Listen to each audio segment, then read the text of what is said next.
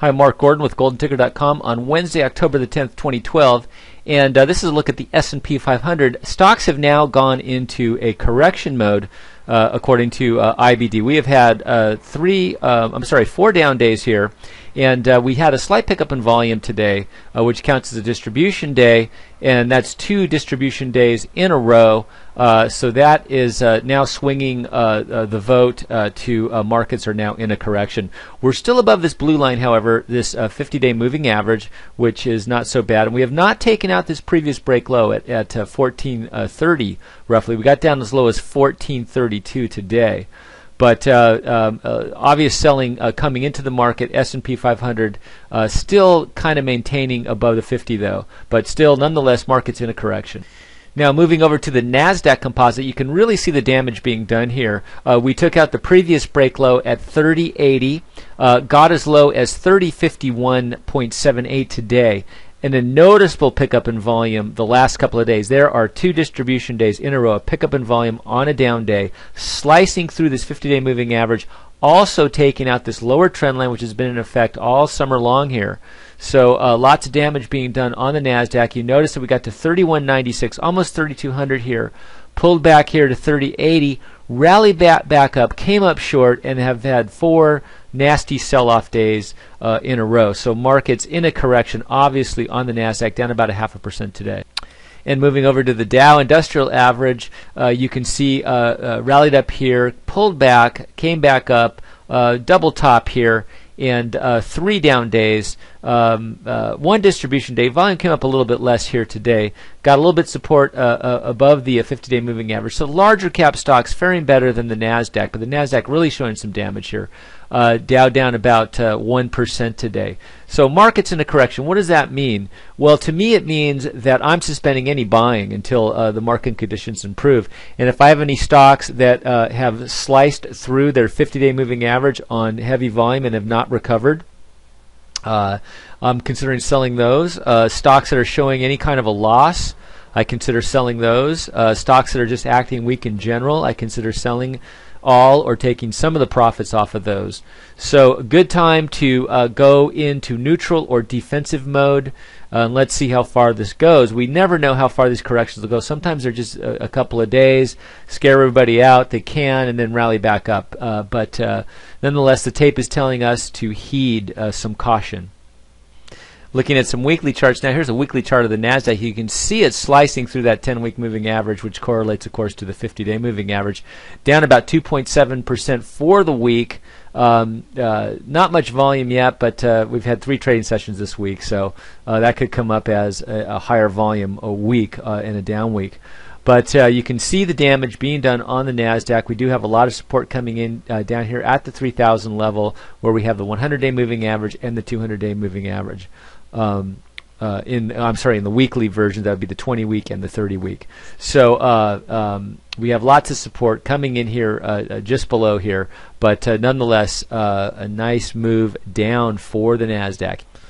Here's a weekly chart of the S&P 500 sitting right on its 10 week moving average at about the 1430 mark here and uh, getting support so far from that. Um, uh, you know, so uh, uh looking at the na- at the S and P 500, just sort of a normal pullback here, um, but uh, nonetheless, markets in a correction, uh, down almost two percent on the week. So let's sit back and see what happens, and um, you know, let the tape tell us what's up. Now, I like looking at some of the big cap leaders of the recent rally to kind of get a, a feel for the market. This is Apple, obviously one of the great leaders. Uh, hit a new high here in September, got over $700 a share, and it's been downhill ever since. And uh, what's troubling about Apple is taking out, slicing through this 50 day moving average on some heavy, heavy volume here. And uh, we've had three distribution days in a row. Uh, so that's a lot of heavy institutional selling. So far, getting a little bounce up here, got near this green dotted line, which is the 100 day moving average, at about the 620 level. Um, uh, but got support at 623 and uh, made a higher high today. So that's a little encouraging. Volume was pretty lackluster compared to the last couple of days. So Apple acting weak. Um, Apple, a bellwether stock, obviously, um, but had a nice little bounce today up about uh, eight tenths of a Some damage also being done on Alexion Pharmaceuticals, big pharmaceutical leader, down about 5.7% on the week, getting support so far here at the 10 week moving average, but uh, a nice sharp pullback this week for sure. On the daily chart of Alexion, you can see the big uh, drops it had here, uh, taking out the red line, the 21 day moving average. So far, getting support above the 50 day moving average today of about a tenth of a percent. But uh, a couple nasty days of selling on pickups and volumes. So that's distribution. Some selling coming into Alexion, which has been, had a great run here uh, all uh, summer long here and uh, but now going uh, uh, through a little bit of a corrective phase here. Let's see if this 50-day moving average can hold as it has all summer long. Another strong leader is Catamaran Corporation, CTRX, uh, forming a nice cup with handle here. Um, so far, the uh, pullback here has been supported by the four-week moving average here, down about uh, almost 3% on the week, but looks like a pretty normal pullback here.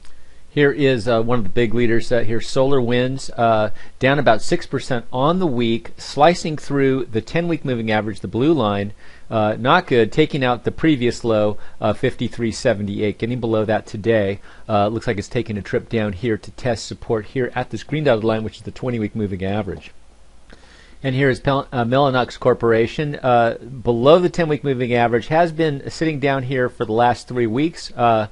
Uh, falling uh, uh, even lower this week, undercutting the re- week's previous low here. Um, so going through some sort of correction here, not too bad yet, although I don't like it below the 10 week moving average. And here is uh, Michael Kors, one of the strong IPOs here, um, going through a correction as well, getting below the 10 week moving average this week, down about 2.3%. Uh, let's see if we can rally back up above that. This is one of the leading retailers, uh, doing very well. High-end retailer, uh, going after those uh, big money clients that are stealing all our money. Probably a lot of those Wall Street boys. Anyways, Michael Kors doing, uh, trying to hold up here. So uh, all in all, you know, the leaders are going through some sort of a correction. Nothing looks too horrible yet. Actually, Apple's one of the worst looking ones of them all, which is which is a little bit troubling. It Has been one of the top big cap leaders. Uh, just an amazing uh, run that Apple's had. To see it go through this correction really is a little disturbing. Most of the other leaders are holding up pretty well, going through just what I call a normal corrective phase. Um, let's see how this thing turns out. Step to the side if you can. I wouldn't be making any new buys. And uh, uh get cautious. Uh, trim back some of your weaker stocks, and uh, let's wait this thing out. Thanks for listening.